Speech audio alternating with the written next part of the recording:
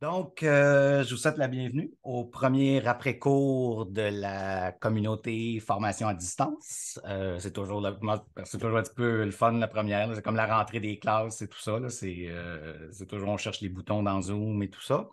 Donc, je me, je, me, présente. Moi, c'est Sylvain Manger. je suis enseignant support technopédagogique pour la FAD dans mon centre.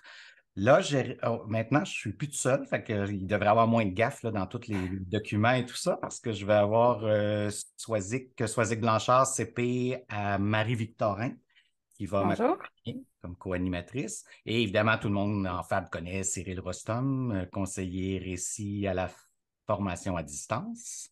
Donc, euh, je vais vous inviter, si vous n'êtes pas habitué, dans le document collaboratif, il y a un tableau de présence. Allez ajouter votre nom, votre adresse courriel.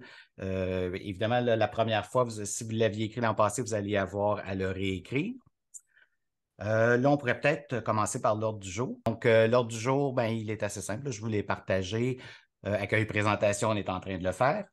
Euh, utilisation du forum euh, module de la communauté, ça, ça ne devrait pas être long. C'est un petit point que je veux amener là, pour euh, comment on fait nos communications pour la communauté.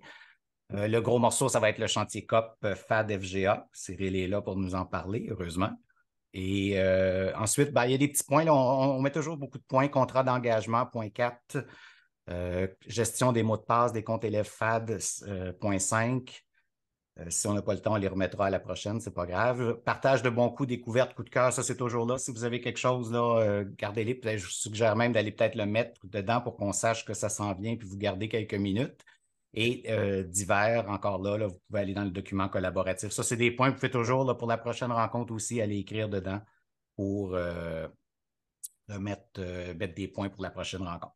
Donc, premier point, c'est le ben, forum de la communauté. C'est parce que euh, je ne sais pas si euh, là, historiquement, euh, j'ai toujours envoyé les invitations, les ordres du jour en prenant une liste de courriels et en utilisant le forum de la communauté. Puis je pense que pour pas mal tout le monde, ça devient redondant parce que je pense que ça nous génère deux courriels qui sont exactement pareils.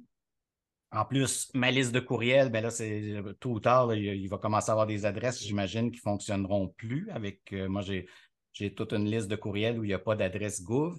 Donc, moi, ce que je propose, c'est que à partir de maintenant, les messages, euh, les invitations et tout ça passent toutes par le forum uniquement. Euh, ça va éviter. Si jamais il y en a que c'est un problème, ben, peut-être vous pouvez m'écrire un courriel. Je pourrais vous faire suivre en courriel si pour une raison ou une autre. Euh, est-ce qu'il y a une raison, Stéphane, que des gens n'auraient pas accès au forum de, Moodle qui voudraient participer à l'après-cours? Oui, ce serait possible si c'est pas des enseignants. Oui. Est-ce qu'ils peuvent, est-ce qu'on peut, ils peuvent vous contacter? S'ils sont enseignants, ils ont juste à demander à leur conseiller ici, régional, puis il va les ajouter à leur cohorte régionale et il aura accès, la personne aura accès au, forum. OK. Donc, il y a des personnes qui pourraient, finalement, c'est ça que je comprends, il y a des personnes qui peuvent, qui pourraient vouloir être à l'après-cours, mais qui n'ont pas nécessairement accès au forum, c'est ça? C'est toujours possible. OK. OK. Je prendrai peut-être ma liste la prochaine fois parce qu'il va, falloir que je la mette à jour de toute façon. Puis l'autre chose du forum aussi que je voulais mentionner, je le dis à toutes les années, mais là, quand je regarde le forum, c'est vraiment un monologue. C'est moi qui mets l'heure du jour, la prochaine rencontre, l'heure du jour, la prochaine rencontre, l'heure du jour, la prochaine rencontre. Ça ne fait pas une discussion très, très euh, conviviale. Puis la raison que je, je veux le mentionner, c'est que sais, là, on n'est pas beaucoup, on n'est jamais beaucoup en live à la rencontre d'après-cours, c'est normal, c'est l'heure du midi, mais quand euh, Richard nous envoie les statistiques à la fin de l'année, je trouve tant ça intéressant de voir que l'après-cours de FAD, euh, toute proportion gardée, selon le nombre de personnes, que c'est généralement celui, je pense que c'était le deuxième l'année dernière, celui où il y a la plus grande proportion de gens qui l'écoutent en différé. Je trouve ça intéressant, puis c'est encourageant que même si on est un petit groupe, qu'on est écouté pareil. Le problème, c'est que là, on amène des points, on se partage des choses, mais si vous nous écoutez en différé, on ne connaît pas vos, réalités, vous ne pouvez pas nous partager des choses. là, ce que je vais essayer à chaque année, je pense que je le dis, puis on se ramasse euh, des fois à ne pas le faire, c'est de peut-être utiliser mieux le, forum pour euh, faire un suivi sur les points qu'on va avoir mentionnés durant la, rencontre. Donc, si vous nous écoutez en différé, ça serait le fun si on, partage des réalités de nos centres. Bien, si vous avez des choses à partager, c'est ça le but de la rencontre. Ce n'est pas, pas juste un récepteur, c'est dans les deux sens, là, que la communication est intéressante. Là. On veut savoir aussi ce qui se passe chez vous, puis euh, voir euh, par rapport à nous. L'idée, finalement, c'est d'essayer d'utiliser de meilleure façon le forum. Ça commence par moi, ben, par Soisic et moi. On va essayer de mettre plus de, contenu là, pour vous inviter à, ajouter à la conversation. Bon, on va, essayer. Le but, c'est que ça ne devienne pas juste un monologue de moi qui met des ordres du jour pendant, euh, je pense que les 20 derniers messages, à peu près, c'était ça dans le forum. Mais la proposition, c'était ça. Je pense que dans le forum, quelqu'un qui devrait faire un, un, suivi, un point par rapport à justement un point de l'ordre du jour, là, mettrait l'information, euh, mhm. nous-mêmes, on mettrait l'information dans le forum, c'est ça? Absolument. Oui, oui. Surtout, comme je dis, pour permettre aux gens là, qui nous écoutent en différé, qui ont des choses à ajouter sur les sujets dont on a parlé, de pouvoir le faire. Là.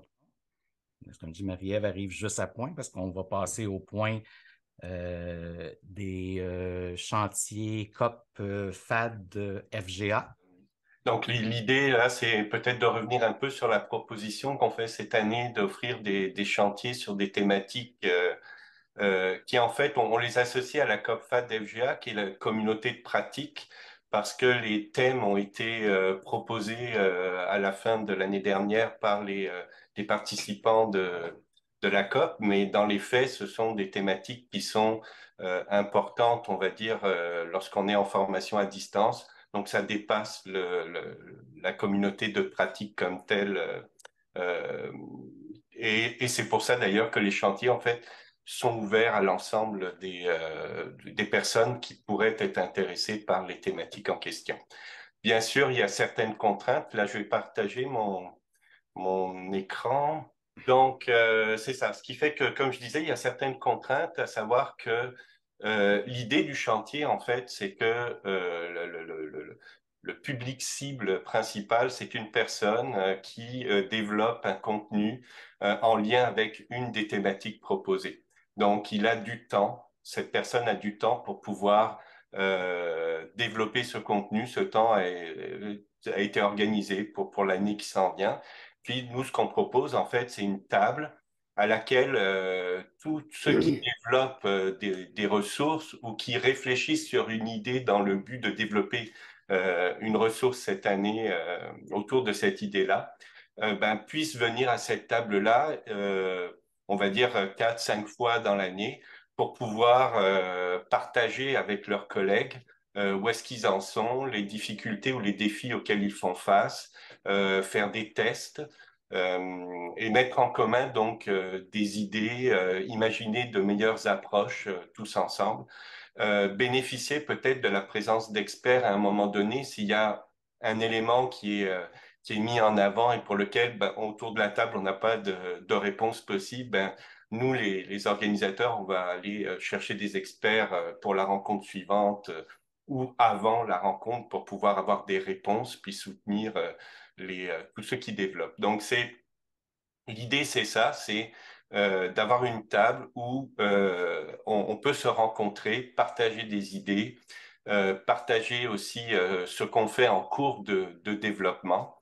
Et euh, de notre côté, nous, les animateurs, ce qu'on qu'on qu'on va faire, c'est ressortir les éléments importants de nos discussions lors de ces échanges-là, pour à la fin produire une espèce de modèle. Alors le modèle ou un, gabarit ou en tout cas euh, une liste de recommandations, ça va dépendre du type de, je dirais, de, thématique, euh, mais produire quelque chose de très général qui pourra un peu regrouper l'ensemble de euh, des éléments importants qui seront ressortis des discussions qu'on aura eues au cours de l'année et qui, pour une personne qui voudrait développer quelque chose sur cette thématique-là euh, plus tard, ben, en, en, partant déjà avec ces, ces, ces, ce, ce guide-là ou ce gabarit-là, ben, ça pourrait faciliter son, son développement. Donc, l'objectif final pour nous, les organisateurs de, de, de, ces chantiers-là, ben, c'est de produire ce gabarit, ce modèle, ces listes de recommandations. Puis, pour les participants, ben, c'est d'avoir un soutien pendant leur développement, euh, ce qui peut accélérer les choses euh, et euh, faire en sorte aussi d'enrichir le, produit final. Chacun peut garder sa ressource à la fin. Euh, ils peuvent le ils peuvent partager leurs ressources ou pas. Ça, dépend vraiment de chacun, c'est pas une obligation. Nous, ce qu'on partagera, c'est le gabarit, le modèle ou, ou la liste de recommandations en question qu'on aura bâti au courant de, de l'année.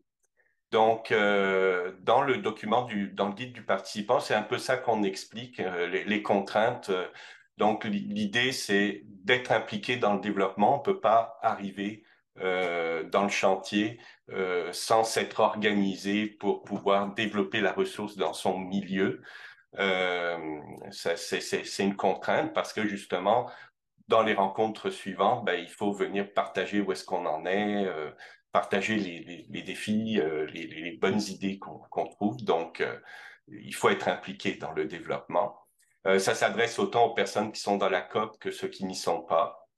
mais c'est la même contrainte pour, pour toutes ces personnes-là. Des experts, comme je le disais. je pense que j'ai fait un peu le tour. Ce qui fait que là, je vois, il y a peut-être une, une question. Merci. Oui, il y avait juste une question. C'était juste pour revenir à, ouvert à tous.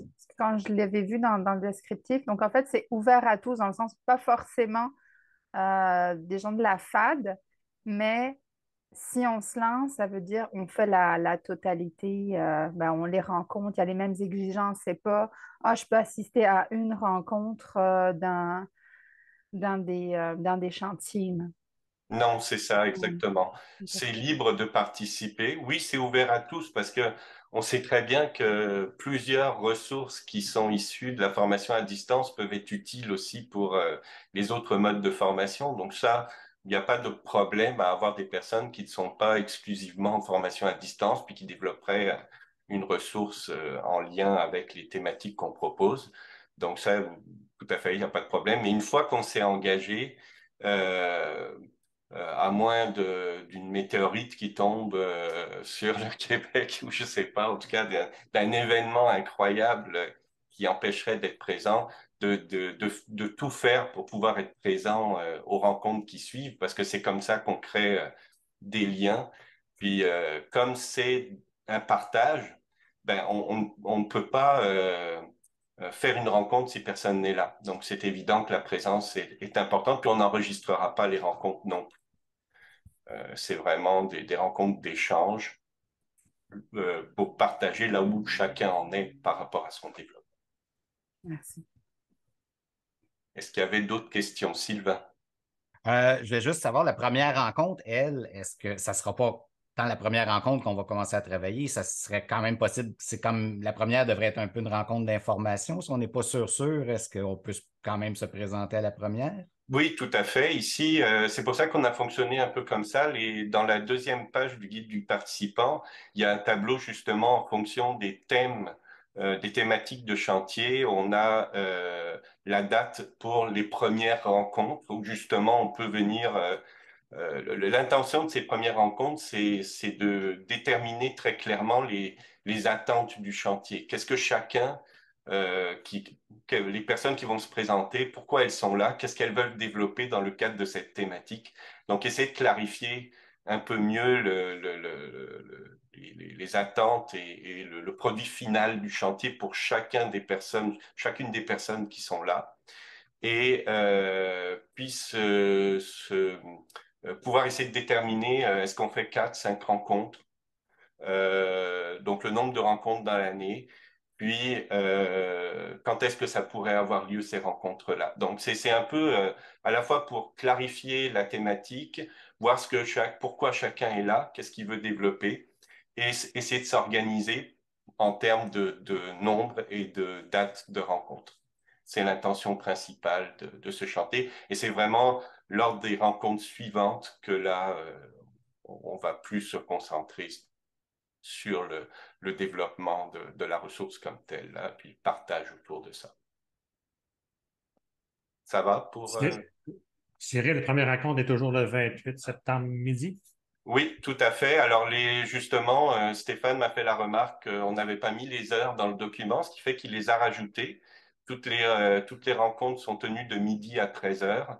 Euh, la première a lieu le 28 septembre. On en a le 28, le 29. Ensuite, ça tombe au, 2 octobre, le 3 octobre, le 4 octobre, jusqu'au vendredi 6 octobre. la première rencontre, peut-être je peux comme un peu donner quelques informations sur les thèmes. La première rencontre, euh, va tourner autour de la conception d'un sondage d'appréciation des apprenants. Ça, c'est pas une pratique qui est très répandue en FGA au niveau des, services de formation à distance, puis peut-être même, je dirais, élargissant dans les autres modes de formation, euh, sonder les, apprenants euh, sur ce qu'ils vivent, ce qu'ils ont vécu dans le cadre de leur formation. C'est pas si répandu que ça. Mais comment on conçoit un sondage d'appréciation des apprenants? Euh, ben, c'est la question qu'on va se poser dans ce, ce chantier-là. Ce qui que c'est euh, quand le sondage est fait, c'est très intéressant. Les, les informations qu'on peut recevoir de ça, puis ensuite les gestes qu'on peut poser suite à ces informations-là. Donc, c'est, c'est un outil très intéressant, mais on ne peut pas le faire sur le coin d'une table. Il faut, faut, vraiment, euh, euh, je dirais, se pencher euh, très sérieusement là-dessus, puis bien concevoir les questions bien concevoir le sondage. Donc, c'est un peu de ça qu'on va parler là. Euh, pratique et outils de suivi des apprenants. Donc, euh, l'idée là-dedans, c'est euh, en fait le, le, thème, la thématique est venue parce que il y en a qui développent qui veulent développer un guide de pratique au niveau du suivi. ou se pencher plus sur certains outils de suivi. Donc là, c'est un peu flou. On va essayer de préciser ça justement lors de la première rencontre, mais l'idée, c'est de se pencher sur les pratiques de suivi des apprenants, sur la manière dont on les met, euh, on les met en place euh, pour favoriser la, motivation, l'engagement et donc euh, la persévérance des apprenants. le soutien des apprenants débutants en FAD, ça c'est un autre chantier qui, dans lequel il y a, on va se pencher sur les, les cours d'engagement vers la réussite, qu'on voudrait adapter au niveau de la formation à distance. Ici, il y a deux visions. Il y a la vision euh, de ceux qui voudraient euh, mettre en place un cours au complet, euh, puis d'autres qui voudraient faire une version courte du cours. Donc là, qu'est-ce qu'on met dans la version courte? Lorsqu'on offre le cours au complet, quand est-ce que, que comment on, comment on le donne euh, Est-ce qu'on le donne au début? Est-ce que ça se fait en parallèle avec euh, l'apprenant qui commence déjà euh, son, étude dans la matière X dans laquelle il est inscrit? Donc, tout ça va être discuté. Puis il y a aussi l'aspect du contrat pédagogique qui est un élément qui intéresse certains des, des participants. Donc, c'est ce qui aurait donc autour de soutenir les apprenants qui débutent en FAD. Euh, qui, a une qui a une question, pardon. Euh, en fait, moi, ce que je, je me demandais, c'est euh, on a déjà des choses de développer là, dans bien des milieux euh, en, pour la FAD. Évidemment, il y a toujours place à améliorer et à bonifier ce qu'on a, mais est-ce qu'il va y avoir un lieu où on peut partager pour alimenter des fois les discussions ou partir de modèles que certains ont déjà fait pour le bonifier. Euh, tu sais, je, je voyais entre autres le, un guide de l'enseignant, ben ça c'est quelque chose sur lequel on a déjà travaillé puis qu'on a. Euh, c'est sûr que moi je serais intéressée de voir ce qui va se faire de ce côté-là pour peut-être le bonifier ou l'améliorer, mais je me dis peut-être aussi que les gens qui vont travailler sur ce chantier-là aimeraient voir ce qui s'est fait ailleurs. Est-ce que ça c'est quelque chose qui est Ben oui, tout à fait. C'est même une des intentions parce qu'on se doute bien que les, euh, les participants qui vont se présenter euh, auront peut-être débuté déjà quelque chose euh, ou dans certains cas, comme tu le mentionnes, vous avez déjà un guide, puis votre intention en venant au chantier, ben, c'est de le bonifier. Est-ce qu'il y aurait des choses qu'on pourrait améliorer? Et là, comme on est plusieurs autour de la table, ben, on peut regarder un exemple et pouvoir ensuite donner des comment je dirais, euh, des propositions d'amélioration, réfléchir autour de ça. Donc, autant ceux qui n'auraient rien entre les mains que ceux qui auraient déjà du contenu, ben, on peut se, justement tous autour de la table bénéficier de ce type de, de discussion. Ce fait que oui, on va vous, on va vous, on va inciter tous ceux qui ont déjà des, des, des ressources, en fait, à, à, à, les partager pour pouvoir les améliorer, puis avoir quelque, au moins un point de départ là ça aide tout le temps pour ce type de discussion-là. Sinon, nous, on va, euh, on va fournir euh, aussi euh, des, c'est à ça un peu que va servir aussi la première rencontre, c'est de voir est-ce qu'il y en a qui ont des ressources ou pas, de quoi on pourrait partir. Puis nous, ça va nous donner une piste aussi. est-ce qu'on doit amener quelque chose pour partir les discussions C'est une autre intention des premières rencontres. Parce que, si je pense à notre situation puis notre contexte, on a encore du travail à faire et des éléments, euh, des thèmes de chantier pour lesquels on n'a pas de, choses de développer ou très peu encore. Fait que je me dis, euh, on a un beau menu, là, beaucoup ben de chantiers possibles, mais euh, on ne réussira pas à être impliqué dans tous ces chantiers-là à la fois. Fait que je me disais, c'est peut-être pas celui si je m'implique, dans lequel euh, j'opterais en premier lieu parce qu'il y a des choses où on n'a rien de développé, mais je me disais si je peux partager ce qu'on a de, dans d'autres thématiques, mm-hmm. ben, c'est ce que je voulais vérifier. Puis euh, rien n'empêcherait que dans un chantier, tu agisses comme expert. Donc, tu es invité, par exemple, pour présenter ta ressource mais tu participes pas forcément au chantier. Puis nous, on peut te tenir au courant en fonction, parce que à la fin du chantier, on, produit ces, recommandations ou ce gabarit. Donc toi, après, tu peux utiliser ce gabarit pour bonifier ta propre ressource par la suite. Ce qui fait que euh, ça pourrait tout à fait fonctionner comme ça. Donc, tu ne serais pas tenu d'être là à toutes les rencontres, mais tu pourrais au moins venir présenter ta ressource en personne euh, lors d'une des premières rencontres qu'on pourrait avoir. Donc, ça, c'est une autre, une autre possibilité. OK, merci. Puis, on est très flexible aussi à ce niveau-là, ce qui fait que nous, on prévoit un cadre. Euh, après, on peut s'adapter en fonction des réalités puis des besoins de, de chacun, bien évidemment. Est-ce qu'il y avait une autre question? Euh, moi, mon besoin, euh, c'est que j'ai été mandatée par euh, ma direction pour regarder un peu comment démarrer. Nous, on n'a pas la FAD à date et on aimerait bien bon, implanter la FAD à date en fouillant là, entre les quelques minutes de la fin de l'autre après-cours et celui-ci. Euh, Cyril, je vous envoyais euh, une demande. Oui, j'ai vu. OK, bon.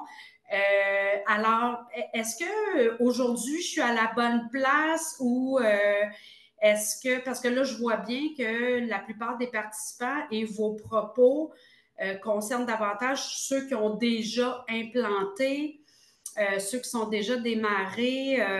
puis, est-ce que éventuellement, ben, justement, avec le rendez-vous euh, Cyril, est-ce que ça va pouvoir répondre euh, ben, aux besoins là, que je suis à la case euh, moins 15? Moins 15. Ben, disons au moins à la case de départ, on va dire. Oui. Puis, mais c'est une bonne question. Les chantiers comme tels, comme tu peux le voir, c'est quelque chose qui est très... il y a des thématiques très précises. Puis il y a un objectif de production, donc une ressource très précise qui est, qui est l'intention du chantier, en fait. Donc, euh, dans ton cas, c'est quelque chose d'un peu plus large qui est de réfléchir un peu à qu'est-ce que, euh, comment vous pourriez vous organiser pour mettre en place votre service de formation à distance. Donc, c'est pas vraiment dans les chantiers actuellement que euh, ben, les chantiers vont pas forcément répondre à, à ce besoin-là parce que vous, il reste quand même à, à, voir un peu quel, quel, service vous voulez offrir, euh, comment vous voulez vous organiser. Il y a, il y a beaucoup de choses. Donc, c'est un autre type d'accompagnement euh, dont on va parler quand je vais, euh, je vais te rencontrer, où là, c'est un accompagnement un peu plus, je dirais, d'exploration de ce que vous voulez faire en fonction de vos ressources, de votre milieu, puis, puis tout ça. Donc, au début, c'est plus dans des rencontres individuelles qu'on va pouvoir préciser vos, vos besoins et euh, puis voir un peu comment procéder. Nous, on va, moi, je vais arriver avec ce qu'on appelle un modèle qui est le modèle des fonctions tutorales, qui va permettre de vous organiser euh, comme tel et de savoir où est-ce que vous voulez mettre vos pions, vos premiers pions là pour pouvoir euh, monter votre votre service. Mais, euh, mais comme je te dis, ça, ça va être plus un accompagnement au début qui va être individuel. Et après, en fonction, quand ça, ça va être un peu plus clair, ben là, vous pourrez dire, euh, bon, ben, on va aller euh, chercher de l'expertise ou développer de... Parce que vous avez l'impression que vous n'avez pas d'expertise, ben, en fait, vous en avez déjà dans, à, plein de niveaux. Euh, mais il faut, faut, juste organiser un peu tout ça. Puis après, vous allez plus être en mesure de dire, ah ben tiens, on pourrait s'impliquer dans tel chantier parce qu'on a besoin de telles ressources, ou on s'impliquerait dans la COP parce qu'on veut aller partager euh, une certaine expertise et aller chercher de l'expertise avec, euh, avec des collègues.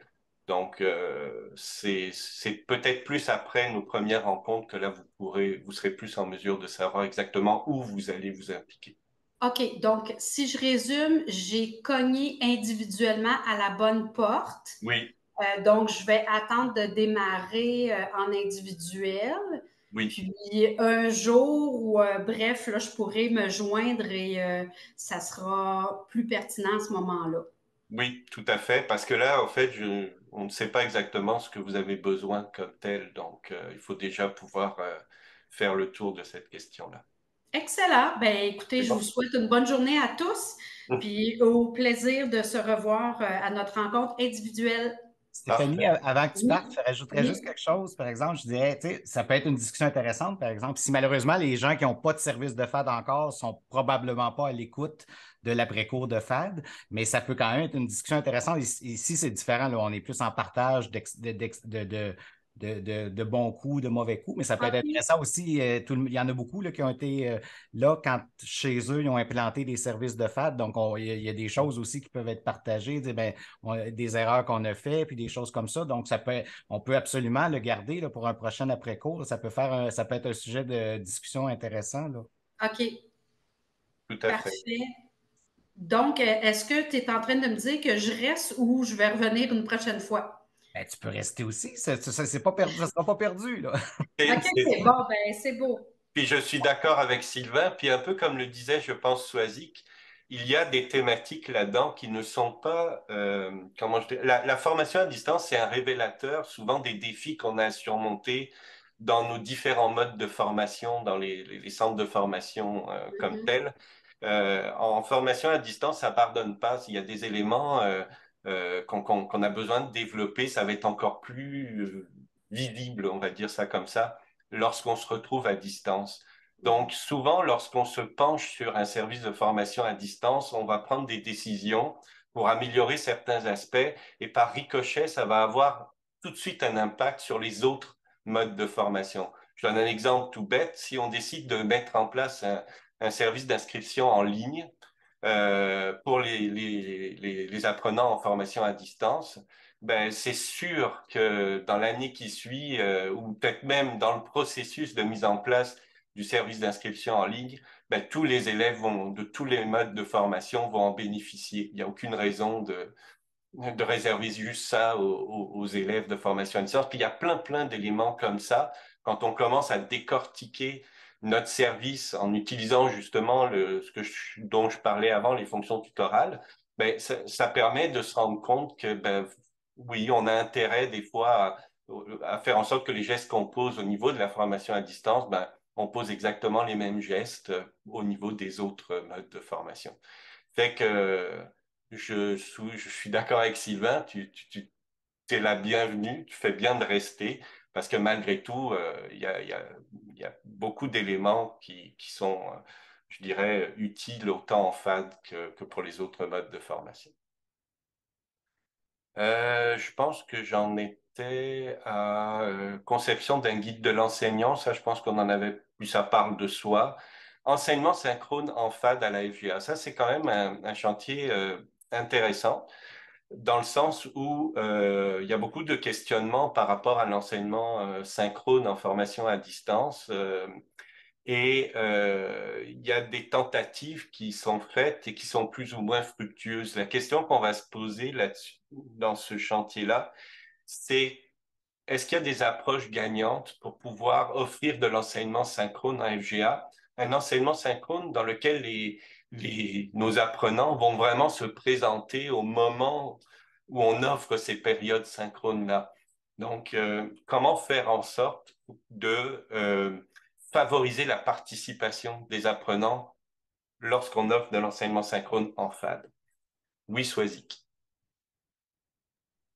Là, ça voudrait dire que c'est pas au bon vouloir finalement de, de l'apprenant de se présenter, c'est que dans son parcours, l'enseignant lui dit de, de telle heure à telle heure ou tel jour, je suis disponible, puis j'ai une attente que les élèves se présentent.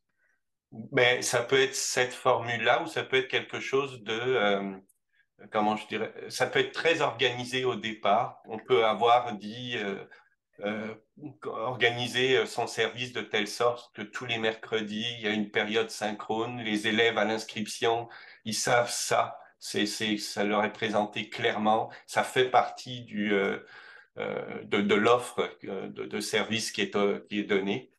Et où ça peut être un enseignant décide de regrouper un certain nombre d'élèves qui, euh, de façon ponctuelle, offre une période synchrone euh, où il traite d'un concept X qui, qui intéresse justement ses élèves. Euh, il y a différentes approches. Justement, là, c'est un peu de... Au début, je suis sûr euh, qu'on va euh, essayer de se donner quelle forme ça peut prendre. Et en fonction des différentes formes, essayer de trouver des pratiques ou des approches gagnantes pour favoriser la participation des apprenants. Puis je suis sûr aussi qu'on va aller chercher l'expertise euh, à l'externe de d'autres ordres de formation qui euh, qui sont peut-être plus expérimentés au niveau de l'enseignement synchrone en FAD. Donc, euh, je ne sais pas encore exactement comment ça va évoluer. Ça va dépendre des participants, des discussions, des besoins. Mais euh, j'ai l'impression que ça va tourner un peu autour de tout ça. Est-ce que ça répond à ta question, Swazik? Oui, mais je me demandais aussi si ça avait été évoqué pour quand c'est possible, que ce soit du synchrone présent. Sais qu'on est en FAD, mais est-ce que c'est ça fait partie oui, aussi ça va des- faire partie aussi, tout à fait.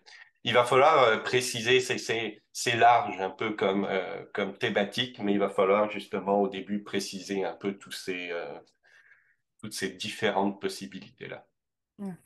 Et puis après, il y a le dernier chantier qui en fait qui, qui, euh, qui ne sera ouvert qu'aux participants de la COP, puisqu'on on veut mettre en place un chantier de réflexion pour réfléchir à la manière dont on va s'évaluer comme euh, communauté de pratique. Donc on l'a indiqué, mais celui-ci euh, évidemment est ouvert qu'aux personnes qui font partie de la COP. En gros, ça fait le tour de, des chantiers. On, pense que les sujets sont assez euh, précis et assez large en même temps pour intéresser euh, plusieurs euh, personnes qui sont dans des situations différentes. Et comme l'avait mentionné Swazik, qu'on soit en FAD ou pas, il y a des éléments qui peuvent intéresser un, large public. Donc, on espère qu'on aura beaucoup de participation. Si on a des chantiers où personne se présente à la date que, que- qui est qui est dans le tableau, ben, on n'offrira simplement pas le chantier cette année, puis on, trouvera une autre manière de, de traiter ce sujet. Donc, si par exemple le sondage d'appréciation des apprenants, qui est selon nous quelque chose d'important mais peu répandu, s'il y a peu de personnes qui se présentent ou pas de personnes du tout, en fait, s'il y a personne qui se présente, ben, on, traitera quand même ce sujet-là au courant de l'année parce que c'est quelque chose pour lequel on veut, on veut proposer une ressource. Puis une réflexion un peu autour de, cet outil-là. Donc, ça sera pareil pour les autres thématiques. Voilà, moi, ça fait le tour un peu. Euh, Merci Cyril, c'est vraiment, euh, comme disait Valérie, on ne peut pas participer à tout, mais il y a toujours il y a quelque chose d'intéressant dans chacun. C'est clair, je pense pas que c'est. Pense que participer à ce chantier, là, ça serait euh, un petit peu euh, cowboy. Ambitieux. Mais c'est non, mais c'est vrai que puis justement, dans, dans un des chantiers, là, euh, je vais mentionner par exemple, juste pour être sûr, là, le, le document que Cyril a mis à l'écran, là, il est dans le document collaboratif, vous avez le lien directement, et dans le document, vous avez aussi le lien, vous avez vu le lien vers les salles, donc vous pourrez retrouver là, tous les liens hein, dans le document collaboratif, le- le- les deux pages du document que Cyril a présenté, et dedans le tableau, là, il y a les liens pour. euh, il y a les liens pour être assisté directement. Il y a pas, c'est ça, il n'y a pas d'inscription requise à l'avance. On a mis un lien, comme vous avez vu sur la deuxième page, il y a un petit cœur avec un lien. Vous pouvez aller mettre votre nom, mais en bout de ligne, on, on- on validera ça euh, au- le jour de la première rencontre. Euh, c'est quoi le prochain? Oui, ben justement, c'était contrat dans. d'engagement. Oui, contrat d'engagement. Ben, justement, je, je pense que dans un des chantiers, là, on le voyait, là, je ne me rappelle plus lequel. Il y avait contrat pédagogique. Oui, ben, euh, C'est le même, c'est le même, euh, on peut dire que c'est un synonyme dans, dans ce cas-là, oui.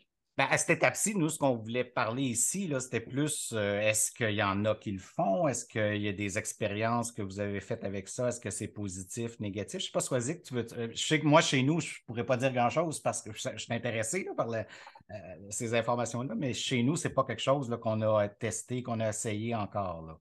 François tu voulais. oui, ben, j'avoue que j'avais proposé à, Sylvain d'en parler. Nous, on s'est on s'est posé la question en juin dernier. On, voulait réfléchir à, voir est-ce qu'on établit quelque chose. Parce que au départ, c'est venu du point de vue administratif, l'histoire d'un élève qui, qui finit sa première période d'inscription, réinscrit, réinscrit pas. Donc, les directions cherchaient euh, ailleurs comment ça se faisait. Il y avait des réinscriptions automatiques. Puis on était plus ou moins, plus moins chaud à l'idée de, ah, ben, même si on avise l'élève euh, à un moment donné avec l'inscription de certaines choses ou avec les conseillers d'orientation, ils sont au courant, mais ils ont tendance aussi à oublier. Après, il y avait l'idée de toutes les exigences de il faut que tu contactes si tu changes de coordonnées parce que sinon, des fois, on n'arrive plus à avoir de nouvelles d'eux. Il y a des, il y a des, euh, des demandes, tu dois, si, tu prends rendez-vous, ben, présente-toi. Toutes ces petites choses-là qui, viennent de soi. Puis qu'on répète à nos élèves, qui, à nos, apprenants qui, sont, qui suivent notre cours d'accueil, donc comment ça fonctionne la FAD, c'est quoi les attentes, etc. Mais il y en a qui ne le suivent pas, ce cours-là, quelques-uns. Il y avait tous ces questionnements de dire comment. Puis finalement, on s'est lancé. Moi, j'avais trouvé sur le site euh, du CSS de, de Rivière du Nord qu'il y avait quelque chose, vraiment un contrat d'engagement à déterminer, et qui parlait pas seulement de quoi les attentes un peu administratives au niveau de l'élève, puis ah, contacte ton enseignant, puis euh, essaie de, de, de, contacter régulièrement, puis regarde les ressources. Il y avait quelque chose qui était pour qui. Il y avait des, vraiment des points très, euh, très détaillés. Nous, on n'est pas allé là-dedans.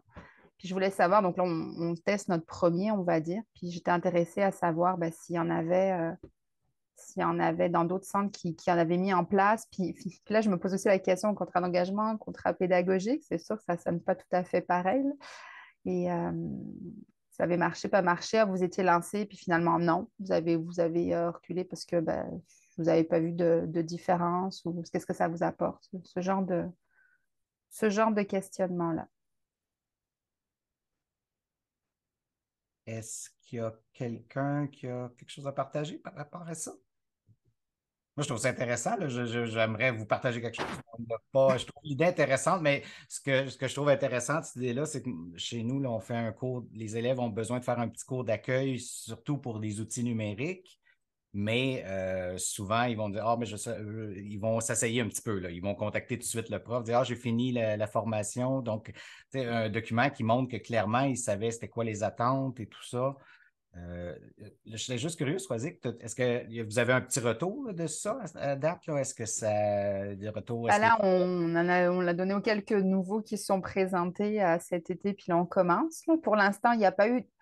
La première, euh, le premier résultat qu'on a, c'est qu'il n'y a pas de réticence à le signer, parce que c'est ce qu'on demande, mine de rien, quand même, qu'il le signe à l'inscription avec les autres papiers, puis Est-ce que, ça fait une différence? Pour l'instant, on n'est pas capable encore de, le voir, mais le premier enjeu, c'était que l'élève soit au courant qu'effectivement, comme la direction implantait une réinscription automatique avec la demande finalement de paiement parce qu'il y a des frais, c'est sûr que le fait qu'il ait signé, on est sûr, il, le sait. Pour eux, c'était ça le, point important.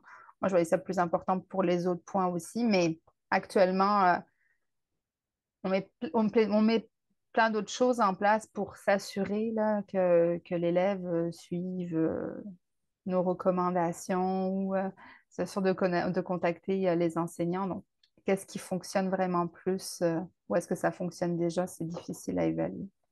Est-ce que, juste curiosité aussi, c'est qui la personne qui est en charge de, de faire signer ça par les élèves? C'est au moment de l'inscription? À l'inscription, ben quand, pas à l'inscription mais quand l'élève se présente pour récupérer ces documents, euh, signer ces autres documents. Par contre, c'est ce qui est nommé, bah, ce qui est écrit dans le contrat d'engagement, c'est nommé bien avant, parce que l'élève euh, se renseigne au secrétariat, rencontre la conseillère d'orientation. Donc ça, c'est pas, on n'est pas, il n'est pas mis devant le fait accompli. Ah, au fait, tiens, signe-moi ça pendant que tu y es. C'est juste que ça, ça officialise l'information qui a été donnée puis qui s'engage à respecter certains points. Ça rend l'information plus uniforme aussi. Là. Moi, je sais que des fois, on a quelqu'un, si c'est quelqu'un de soir qui donne l'information à l'élève, tout d'un coup, on dirait que c'est plus exact, c'est tout le temps oralement en plus. Donc, des fois, c'est quelqu'un de jour qui donne l'information. Les élèves n'ont pas toujours exactement la même information. Fait document là, où tout est uniforme pour tous les élèves, ça a l'avantage d'être euh, clair. Euh, je vais aller à l'appel. Est-ce qu'il y en a euh, qui ont déjà, juste comme j'allais à l'appel, Cyril était rapide. Oui, Cyril, je vais te laisser, je vais te laisser aller. Euh, le contrat pédagogique, en fait, s'il s'est retrouvé dans, dans, un des chantiers, c'est parce qu'en fait, ça a été un sujet qu'on a traité, je pense, à la troisième rencontre de la, de la communauté de pratique. donc, c'était un sujet qui euh, je dirais, certaines équipes euh, en avaient un, voulaient le faire évoluer ou euh, voulaient en, mettre en place un comme tel. Et donc la question, c'était de savoir comment on pouvait le faire évoluer, etc. Puis, je ne veux pas rentrer dans les détails de l'ensemble de la discussion qu'on a eue, mais il y a vraiment un point de vue qui peut être à la fois très administratif ou un point de vue très pédagogique. Puis euh, l'idée, c'est souvent de savoir où est-ce qu'on se situe un peu là-dedans. Notre contrat, est-ce qu'on veut qu'il... Euh, quels sont les aspects administratifs qu'on veut mettre en avant dans ce contrat-là? Puis quels sont les aspects pédagogiques et quelle est la proportion en fait euh, entre ces différents aspects-là? Donc, il peut y avoir des contrats à saveur très très très pédagogique ou des contrats à saveur très très très administrative, tout dépendant des milieux puis des choix que les milieux ont, fait. Mais de façon générale, je vais juste rappeler que le, contrat pédagogique, c'est un outil qui est extrêmement puissant. Euh, quand on regarde la littérature à ce sujet-là, euh, le, contrat pédagogique, c'est un des sept piliers de l'auto-formation. Donc, euh, c'est quelque chose qui, est reconnu comme ayant un impact sur la persévérance des élèves. Puis pour que ça ait un impact, en fait, il faut que le contrat il soit négocié entre l'apprenant et l'enseignant. Lorsque l'apprenant rencontre l'enseignant ou lorsque l'apprenant rencontre son service de formation à distance. Et c'est un peu cette négociation-là euh, quand on arrive avec un contrat tout fait, euh, ben on, saute, on escamote cet aspect euh, négociation où là, on va aller chercher un peu, puis on va en fait créer une discussion, un dialogue avec l'élève où il va pouvoir exprimer lui ses contraintes. L'enseignant aussi va pouvoir lui exprimer ses contraintes à lui. Et là, ils vont mieux se connaître et donc être en mesure de pouvoir partir sur de bonnes bases. Et on écrit ça dans un document euh, qui, qui fait foi un peu de la discussion qu'on a eue. Donc, ça se passe souvent à la première rencontre qu'on dit si importante entre l'apprenant puis son, son enseignant, euh, la, la, plupart du temps, où là, on, vient dessiner plus clairement les contours de ce contrat-là. Que c'est quand même une question, euh, c'est un outil très intéressant, mais s'il est mal employé, ben, ça ne produit pas forcément les résultats, ou s'il est mal conçu, ça ne produira pas les résultats qu'on veut. Et euh, il y a un côté, comme je dirais, je reviens sur ça, où, euh, où est-ce qu'on se situe comme équipe là? Est-ce qu'on a, c'est notre proportion administrative pédagogique là Où est-ce qu'on se situe comme équipe là-dedans? Ça va donner une couleur au contrat qu'on va proposer, au type de contrat qu'on va proposer à l'élève. Puis que ça s'appelle contrat pédagogique dans les piliers de l'auto-formation, ça s'appelle le contrat pédagogique. Mais il y, a, plein de termes synonymes ou plus ou moins synonymes qui ont été employés comme contrat d'engagement. Euh, il y avait d'autres termes là qui m'échappent euh, comme ça à ce moment-ci, mais l'idée au départ, c'est d'avoir un dialogue entre l'enseignant et son apprenant et de garder des traces de ce dialogue-là. Et le contrat évolue avec le temps. Il y a des choses qu'on peut rajouter au fur et à mesure de l'accompagnement de, l'élève. Donc voilà, c'est un peu le, résumé que je ferais. Ce fait que c'est un outil qui est quand même très puissant. Comme je vous dis, c'est un pilier de l'auto-formation. Euh, Valérie? Oui, ben en fait, euh, c'était seulement parce qu'on demandait est-ce qu'il y en a qui ont des choses à partager. On n'est pas allé jusque-là de notre côté avec un, contrat pédagogique ou contrat d'engagement, euh, mais ce qu'on a produit là, en parallèle euh, ou en complémentarité au guide de l'enseignant, c'est un guide de l'élève où il y a à la fois des informations administratives qui s'y trouvent, mais aussi des informations euh, euh, pédagogiques ou des astuces qu'on donne aux élèves ou qu'on remet. Fait que ça, lors de leur inscription, lorsqu'ils rencontrent euh, la conseillère en, en, orientation, le guide leur est présenté. Même, euh, ils ont même la version papier qu'ils peuvent montrer à l'élève, expliquer ou insister sur les éléments qui sont peut-être à prioriser ou les plus importants. Mais par la suite, l'élève a toujours accès au format, euh, ben, même il peut avoir le format papier s'il le souhaite, mais sinon, ils ont à tout le moins la version euh, numérique du guide. Donc, cette ressource-là, parce que des fois, on leur transmet l'information, euh, comme Sylvain le disait, des fois, c'est verbalement que ça leur est transmis, mais après ça, là, qu'est-ce qu'ils ont retenu? Puis au fil des semaines, ils risquent d'en retenir encore moins. Fait qu'ils ont toujours accès aux informations par le biais d'un guide. Fait qu'on est comme, on n'est pas rendu au contrat, mais en tout cas, on a un petit bout de fait, un entre-deux, mettons. Tout à fait. Ce que le bout que vous avez fait, c'est de rendre, de clarifier en fait les attentes, de clarifier certains aspects. Euh, c'est le premier pas. Le, le, un des premiers objectifs du contrat, c'est de rendre explicite à l'apprenant ce qu'on attend de lui. Mais ce qu'on oublie souvent, c'est aussi que euh, euh, l'enseignant aussi doit rendre explicite, euh, lui, ses, contraintes. c'est les deux. Les deux, l'apprenant doit rendre explicite ses, attentes, l'enseignant aussi. Donc, euh, le, guide que vous présentez, ben, l'enseignant rend explicite ses attentes, mais est-ce que l'apprenant a la possibilité de rendre explicite les siennes? Et, après, ben, c'est le mariage des deux ou la négociation des deux, en fait, pour répondre aux contraintes en fait de l'apprenant aussi, tout en respectant les contraintes du service de l'enseignant euh, comme tel. Tout ça de manière explicite. Oui, puis de toute façon, des fois, hein, les documents écrits qu'on leur donne au début, euh, moi, on a juste un document d'une page où ils ont les adresses courriels des enseignants et tout ça. Puis souvent, quand je, moi, je les rencontre dans le cadre de, notre euh, accueil de FAD, puis souvent, quand je leur demande si sur la, la feuille, ils ont la feuille avec les courriels, la feuille a déjà disparu et tout ça. Fait que c'est, pour ça que souvent, ces documents-là, c'est beau en théorie, mais j'aime l'idée de, de, Cyril, de, c'est l'enseignant qui, qui, parle avec les Ça n'empêche pas qu'après ça, il peut rester quelque chose de, que ce soit numérique ou papier, quelque chose d'écrit qui, qui, qui, fait le résumé de ce qui est de l'entente, si on veut. Mais euh, de, mettre tout le document écrit au départ avec des règles et tout ça, moi, je dirais que la plupart des élèves vont, le signer, mais ne vont pas nécessairement tenir compte après, ne vont pas le, lire nécessairement.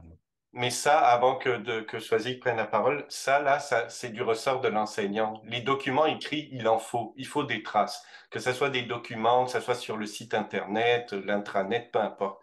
Il faut, des, il faut que ça soit écrit. Mais après, l'enseignant a comme responsabilité ou les membres de l'équipe FAD ont la responsabilité de revenir avec l'apprenant sur ce qui est écrit, puis d'être cohérent avec ce qui est écrit aussi. Ça, c'est peut-être même plus important. Il faut peut-être en écrire moins, mais être vraiment cohérent avec ce qu'on écrit tout au long du parcours de l'apprenant que euh, d'en écrire trop puis de, de laisser, euh, d'oublier euh, ou de ne pas être cohérent dans les décisions qu'on prend ou dans l'accompagnement qu'on offre après avec, avec l'apprenant. Mais avoir un écrit, c'est important. Il faut le ramener après, cet écrit-là, constamment. Sois-y que je te laisse la parole et je me tais. Merci. Non, mais, non, mais c'est vrai, je vois pour, je disais, nous, le côté de contrat d'engagement, je voyais ça plus administratif parce que je pense qu'effectivement, je pense que 90% des points là, sont liés à les attentes de l'élève par rapport à l'organisation du service. Il y a un point qui est sur plutôt la consultation des ressources pour ceux qui ne suivent pas le cours d'accueil, qui sont vraiment peu nombreux. Mais nous, effectivement, lors du cours d'accueil, qui est supposé être le cours qui, que tout le monde suit en premier avant de se lancer dans, ces, manières, euh, dans ces matières, pardon, euh, c'est revu par, euh, par l'enseignant qui donne le cours d'accueil. Tous les documents en fait, qui sont donnés à l'élève lors de l'inscription qu'il a signé ou qu'il a avec lui sont revus, là, à quoi ils te servent et puis qu'est-ce qu'il écrit. Mais le côté, euh, au niveau de l'enseignant, les petits points administratifs, oui, sont renommés, mais il y a, je, je trouve ça très intéressant ce côté-là que chaque enseignant, finalement, qui rencontre l'élève, établisse quelque chose, mais qu'au final, ce soit quand même commun à, à l'ensemble de l'équipe enseignante. je, trouve ça intéressant ce côté discussion. Là. Puis c'est bizarre, ça, me rappelle effectivement des choses que je mettais en place, certaines de, de mes groupes euh, il y a longtemps. Merci Cyril. Dans, euh, la fonction accueil-orientation, un des éléments qui est très important, c'est la cohérence. Puis pour avoir cette cohérence-là, euh, en fait, quand on regarde les quatre responsabilités, la première, c'est le premier contact avec le, site Internet, les documents, les ressources que tu remets à l'élève. Après, c'est le contact avec euh, la, la, conseillère ou le conseiller d'orientation. Euh, après, c'est l'enseignant, etc. Donc, on voit que graduellement, l'apprenant, il rentre en contact avec plusieurs personnes, puis il faut s'assurer de la cohérence. Puis aussi, il faut s'assurer de répéter les bonnes choses. Parce que répéter trop, à un moment donné, on n'entend plus. Donc, faut, pour ça qu'il faut se parler comme équipe, puis se dire, OK, là, on sent que des fois, les élèves, ils ont oublié ça. Bon, ben là, il faudrait le répéter à ce moment-là.